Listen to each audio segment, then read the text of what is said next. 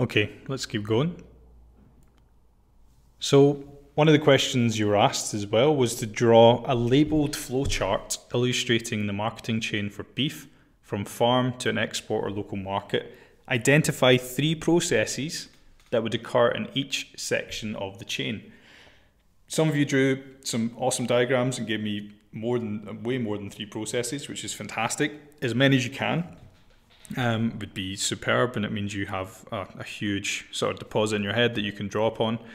Um, something like this would get you the marks. Okay, it's very simple, but it does what it says. Okay, input, lean cattle, vet services, feed and water, extension services, production, feeding and management of the animals, marketing, buying, transport and distribution, processing, slaughtering, chilling and packing, and then consumption, domestic consumption and beyond. This is very, very simplified version. Um, we're going to go over it in more detail, but at the very, very least, if you struggled with this, commit that to memory, okay, and have that as your sort of go to if you get asked anything about the marketing chain. I'm going to go in way more detail, um, which I would encourage as well, but at the very least, you should be able to replicate that um, in the exam. We went into more detail um, and we had these seven main stages. Okay, number one, cattle breeding.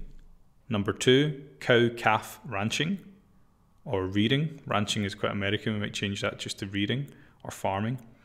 Number three, auction markets. Number four, cattle feeders. Five, beef processing. Six, retail. And seven, export. So we'll go through each one of these stages in the production cycle. So the first one, and the first step in the beef production chain, and can take place naturally or through artificial insemination. So we're talking about cattle breeding. You'll have somebody that breeds certain types of cattle.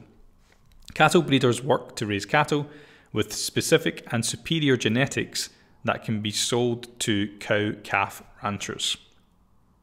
So you may be a Hereford breeder, you may breed Murray Greys, may breed Brangus. Okay, so the specific breed that you're after, you tend to stick to that one breed and you'll be an expert and have you claim hopefully to have the highest quality genetics. So if you're a Hereford farmer, you'd claim to have the best Herefords and they would be their progeny, their offspring would have to be um, meeting the market specifications. Okay, you're going to produce animals people want to buy off you because they know when they buy off of you that that cow is going to be raised and be able to so, sell that cow um, at their required market specs.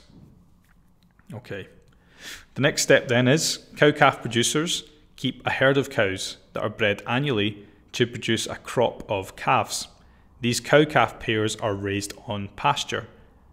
Operations are widespread throughout beef producing countries, and the goal of a cow calf operation is to produce young beef cattle, which are then usually sold.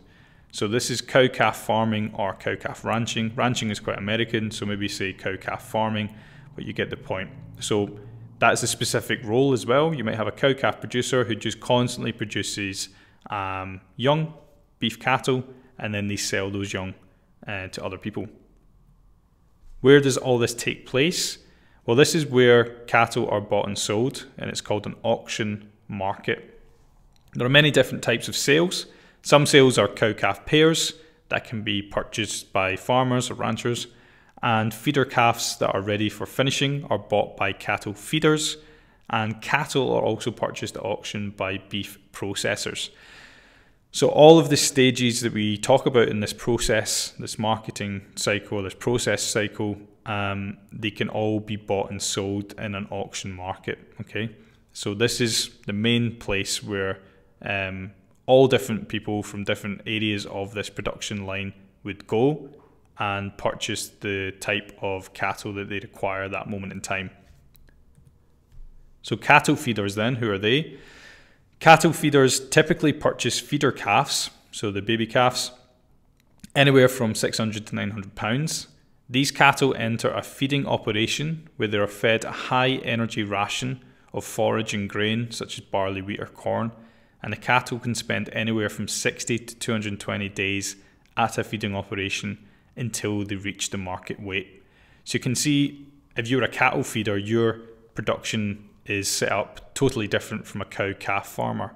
You are getting the calves in and you're feeding them up as quickly as possible on quite high quality food if you can afford to, uh, to get them to market spec. And you can see there anywhere from 60, so two months, 60 days, to 220 days. So typically they're not going to have these cows for more than a year, uh, much less than that. And they just really are all geared to feeding them to get to market specification as quickly as possible. So you can see that makes sense. If you're a cow calf rancher, the previous part of the process, you're not really geared up to um, feeding them as much as possible. You're geared up to make sure that your um, cows give birth effectively. You want to have a high birth rate, so you're more geared to proper care, animal husbandry of the females to ensure that the pregnancy is followed all the way through. A cattle feeder, on the other hand, is like, I just need to get these guys as big as possible. So you can see why you wouldn't do both. You wouldn't do everything in one farm um, because you'd need to then have different areas of your farm set up to do very different things.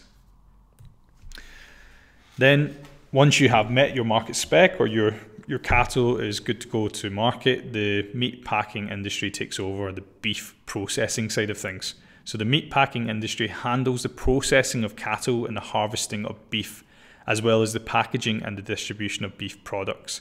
This is where you'd have your pH tests, for example. So Meat Standards Australia will be involved at this step, uh, ensuring that the, the meat that's going out is fit for human consumption, but also they grade it. So they tell you how good or how high quality or low quality that meat may be as well at that point.